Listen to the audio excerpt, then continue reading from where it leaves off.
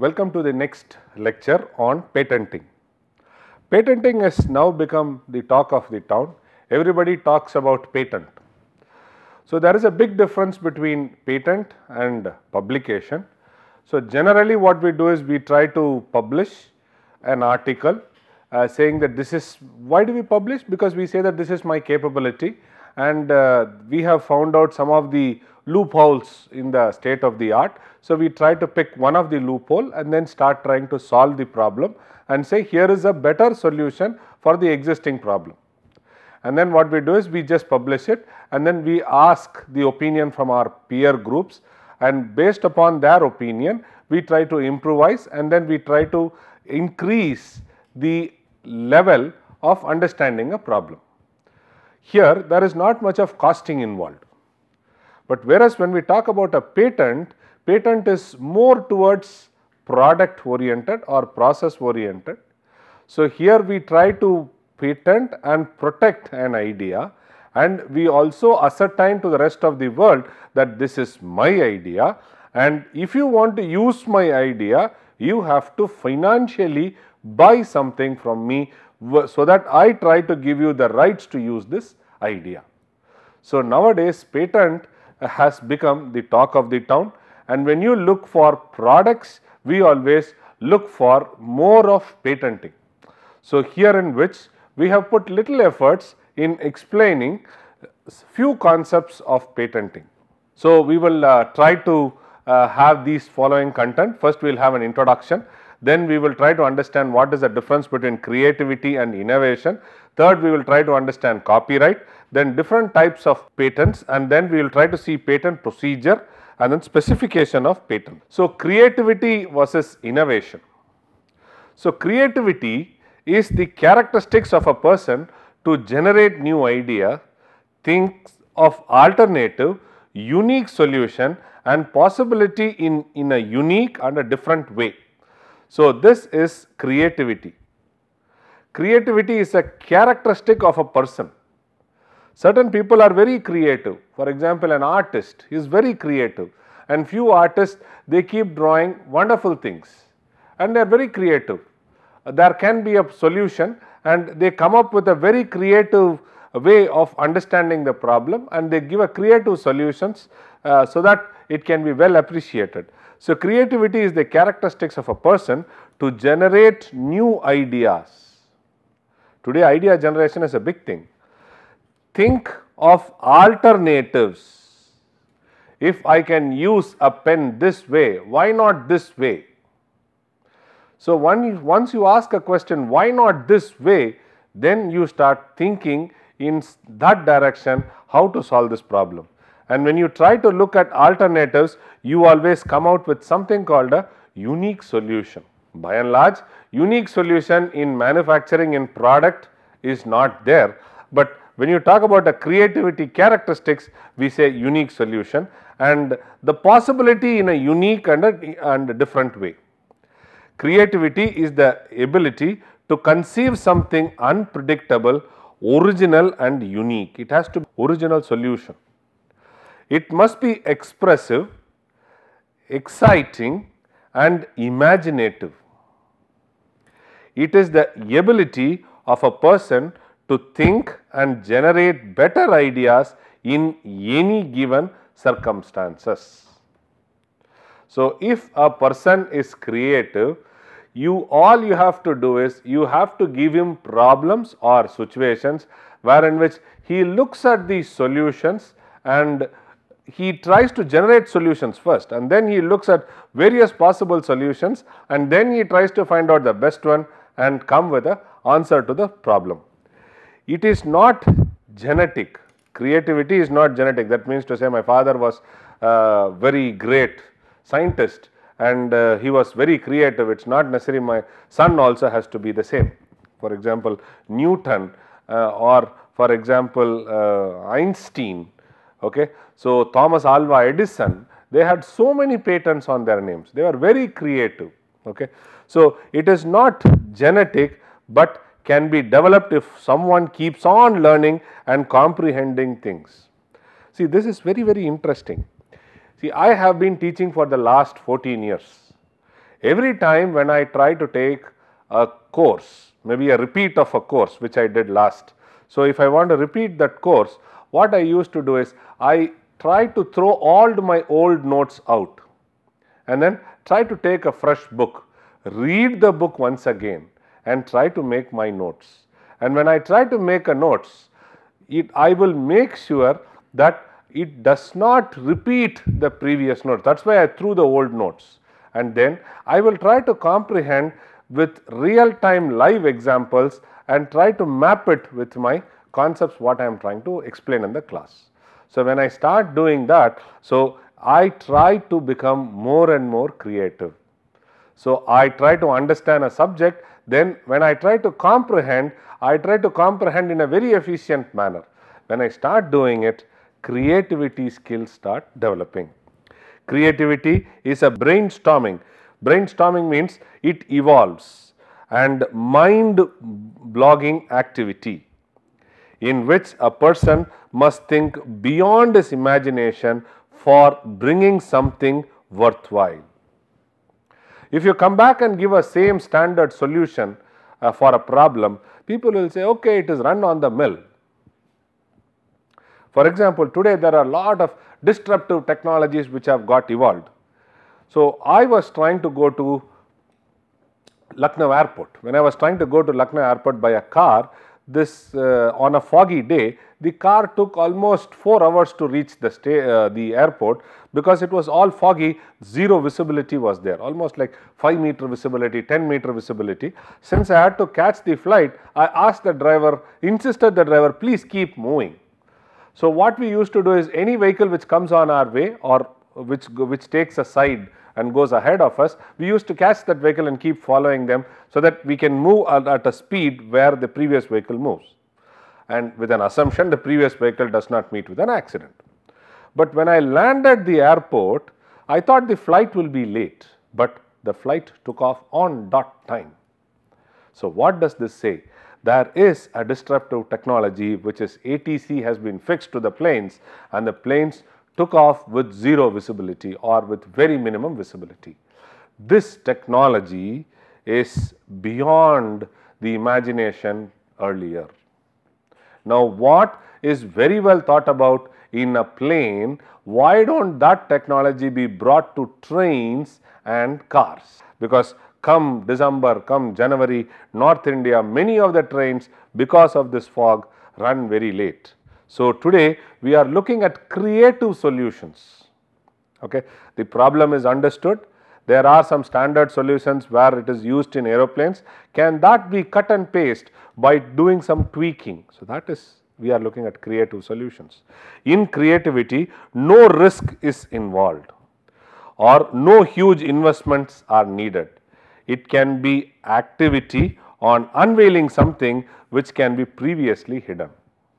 All you have to do is understand the problem and try to bring out with more and more solutions. So, this is all characteristics of creativity.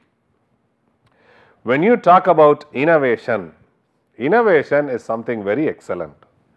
Innovation means I can do a cut and paste technology, try to take technologies or try to take solutions from different different sectors and different different zones and integrate it, try to identify a customer that means to say you have to have a problem, try to identify a customer and for that customer if you can give a solution in, in terms of a product, so then that is called as innovation. Creativity need not be a financial component attached with it. But when you talk about an innovative solution, there has to be a financial component attached with it. That means to say there has to be a customer for and then he has to have a problem and if you are able to give a solution to the problem then you are innovative. Okay. Innovative means you should have a solution which is saleable. That is what it is. Innovation is application and practical based process of new idea to create some value for the business organization, government and society as well. Innovation could be the introduction of new technology which can be cut and paste from several zones. For example, what is very well known to a craftsman need not be known to a doctor. What is known very well to a doctor need not be known very well for an agriculturist. So, an agriculturist engineer just tries to look at what are all the similar problems available in, in, in a big domain and then he will look for solutions for those uh, for those problems similar problems and then he will try to pick that idea make it customized to his customer and then give a solution for it.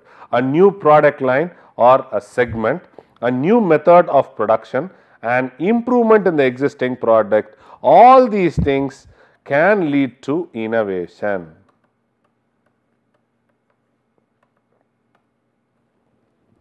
For example, in an advertisement earlier that uh, which used to come that they used to give pamphlets to the customers saying that please use the, please look at the pamphlet or please read this pamphlet. People used to just uh, take it and throw it off in the dustbin.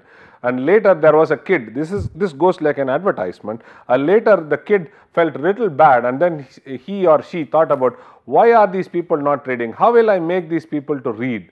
So, then what this uh, girl or a child started doing it, it started crushing each pamphlet and giving it to every customer.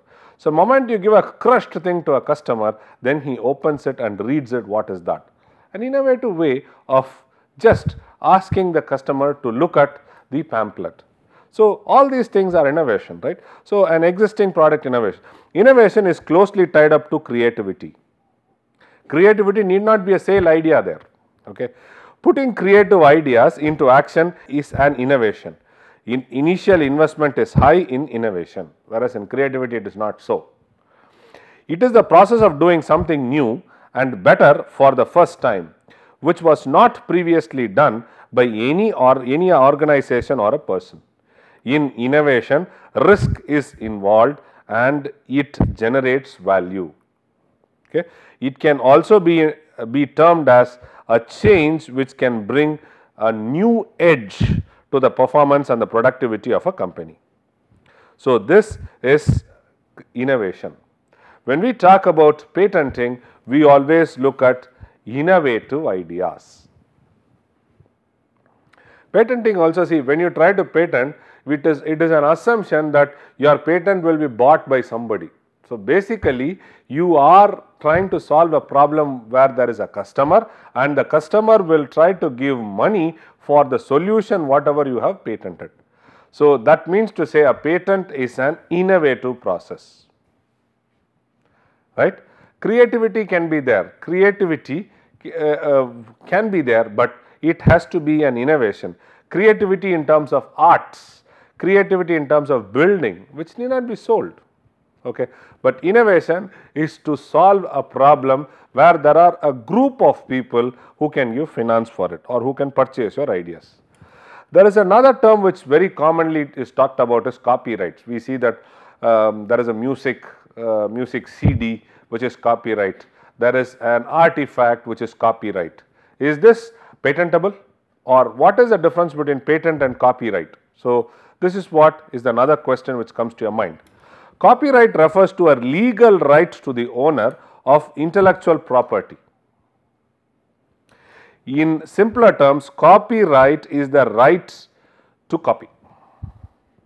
This means the original creator of a product and anyone he gives authorization to are the only ones with the exclusive right to reproduce this work.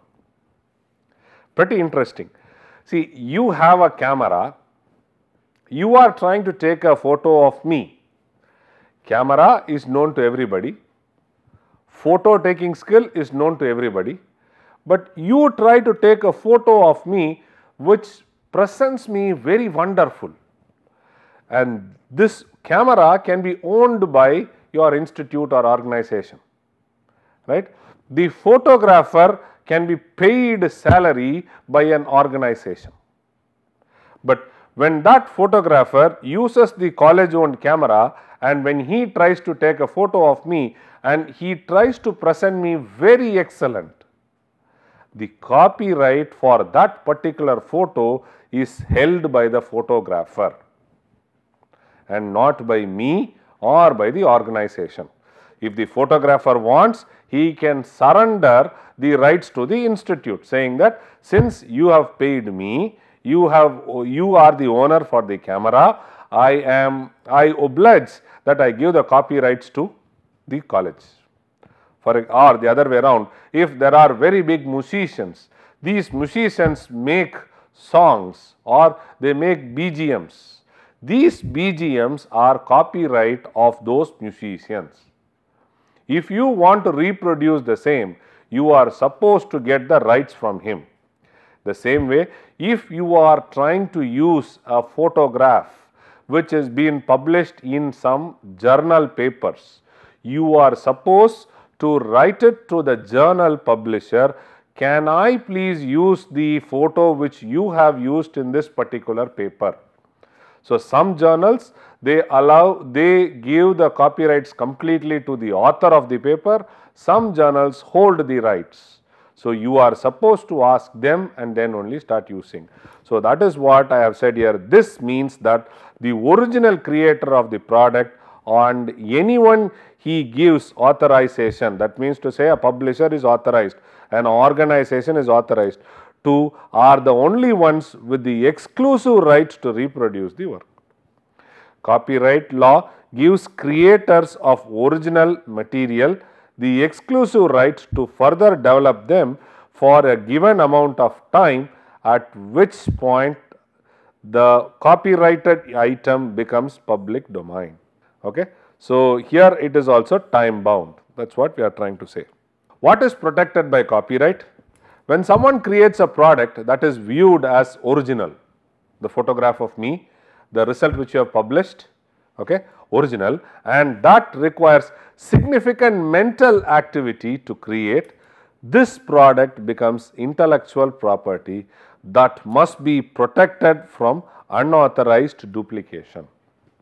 Example of unique creations include computer software, you write a copyright, art, poetry, graphic design, music lyrics, composition, novels, films, original architectural designs, website content etc. All these things are copyrights which is given.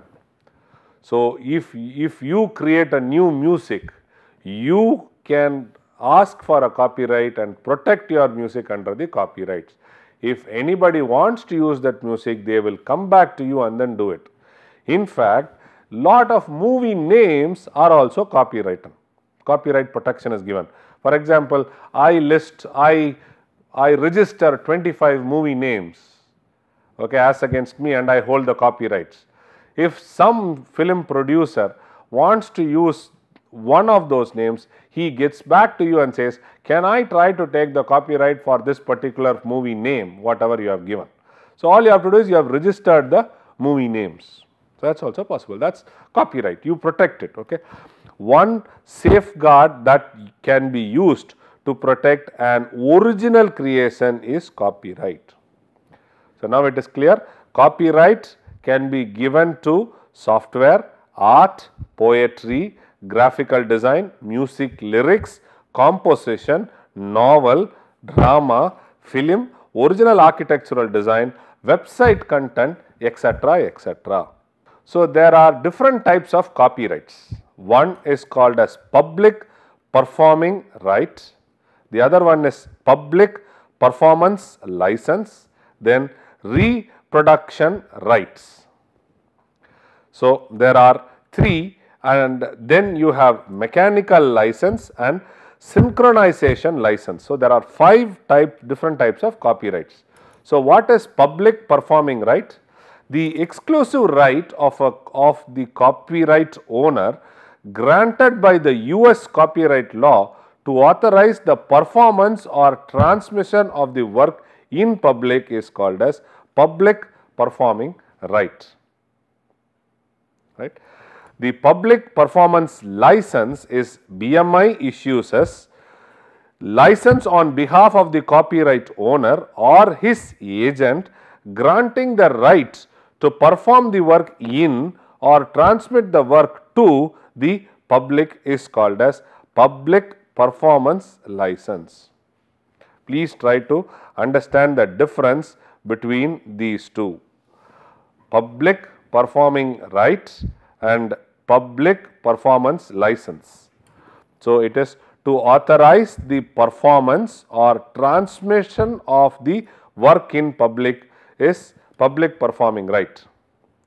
So, it is granting the right to perform the work in or transmit the work to the public is called as public performance license. This can be used for music. Reproduction right, the exclusive right of the copyright owner granted by the Copyright Act to authorize the reproduction of a musical work as in a record, cassette or a CD. So, I try to make a Hindi song and then I try to give the rights to all vernacular languages is called as reproduction rights. Then mechanical license, these are license on behalf of the copyright owner or his agent usually to a record company granting the record company the right to reproduce and distribute a specific composition at an agreed upon fee per unit manufactured and sold. For example, I have designed Taj Mahal, I give the rights to some XYZ company and this XYZ company gives it to several producers uh, who are producing Taj Mahal toy across the globe and everything they produce per unit price they have been given some money or they have been given some uh, some so for number of parts. So, that is mechanical license. So, to reproduce and distribute a specific composition at an agreed upon fee per unit. So, it is something like royalty per unit this is the price manufactured and sold. What is synchronization license? Music publisher issues license as copyright owner or his agent usually to, to a producer granting the right to synchronize the musical composition in timed relationship with audio visual image on film and video tapes. So, these are called as synchronization license. So, there are 5 different types of copyrights public performing right, public performance license, reproducing right, mechanical license and synchronization license. So, synchronization is timed with audio visual images. So, when you talk about patent, there are three different types of patent. So, one is called as utility patent, the other one is called as design patent and the third one is called as plant patent. So, plant patent are basically when I try to do grafting or when I try to produce a new variety you can apply for a patent that is called as plant patent. For example, you get today seedless grapes, you get today grapes which are red in color, you get watermelon which are boxed, you box in shape, you get watermelon without seed, you get oranges without seed, right. You get uh, you, you get uh, rice which can be produced within 90 days. You get coconut trees which can produce coconuts with a height of 3 feet. Mango trees are producing in bulk uh, which has a height of hardly some 6 feet. Okay. So, these are plant patents people have changed the genome or did some grafting they have produced it. Today people have started giving on seed nano coating and they say the size grows of the vegetable and they say it has lot of resistance. Okay. So, those things are plant patents. Let us now look uh, utility patents. Utility patents it is the most important type of patent it is granted on the functional aspect of invention. This type of patent is most sought after and requires a lot of skill in drafting and the application uh, and prosecuting it before a patenting office. A functional utility of the innovation is protected. So, it is otherwise also called as process patent. So, you are coming out with something how to produce that is called as process patent. The other one is called as design patent. So, here in which we do not try to bring lot of emphasis on functional, we, we give it on ornamental or external appearance of this invention. When you have a design patent, you have produced a chair and then I come up with a new idea where I change the aspect ratio of the chair that means to say width by length or I put a handle something like do a small change I get a patent. So, that is called as design patent. If the design is a functional necessity, then it cannot be registered for design patent. For example, the aerodynamic shape of a plane cannot be registered as a design patent as the shape is very important for smooth functioning of a of the invention itself. Okay. So, this is you have to understand the difference between design patent and utility patent. Utility patent or process patent we call process patent is more complete. So, you are patenting the functionality as well as shape, size, everything. When you talk about design patent, your functionality is not given importance, but the rest of the aspects are given more importance. Design patent, people can come with iterative steps and keep getting design patents. Process patent, you hold the major rights. Patents generally contains the following. So, if you see a patent document, the patent has the following thing. So, first is the title, it is just like a research paper, you will have a title of the paper, then you will try to write who are all the authors of the paper, then you will try to write an abstract, then you will try to write an introduction where you put the state of the art that means to say who all all worked, how have they worked, what is that they have said and then from there you try to solve a problem and get to go to the solution. That is how you write a paper and finally you give a conclusion. It is almost the same here. Title of the invention, this is, uh, this is the description of the invention by the inventor himself. Then cross references I said in a paper you write a literature survey, if there are, there are any invention which are found to be closely related to the subject matter under the application of the granted patent, then what we do is we write to write the background of the invention. This is very important part of the invention as it helps the patent examiner to ascertain what was the prevailing problem in the state of the art which led to the invention and finally you try to write the specifications wherein which you try to write an abstract description, drawing and your claims.